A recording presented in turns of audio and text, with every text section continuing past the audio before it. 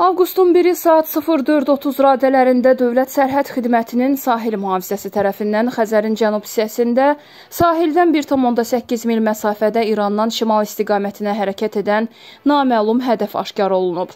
Bu barədə Dövlət Sərhəd Xidmətinin mətbuat mərkəzi məlumat yayıb. Bildirilib ki, aşkarlanmış hədəfin saxlanılması məqsədi ilə Dövlət Sərhədinin mühafizəsində olan sərhəd gəmisi tərəfindən təqib etmə əməliyyatına başlanılıb. Sahil nəzarəti bölmələri aidiyyat əməliyyatı üzrə məlumatlandırılıb və sahil xəttinin qapadılması üzrə təxirə salınmaz tədbirlər görülüb.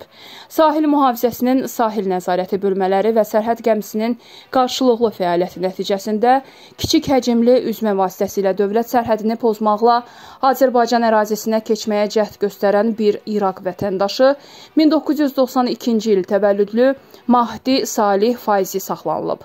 Fakt üzrə əməliyyat istintaq tədbiri davam etdirilir.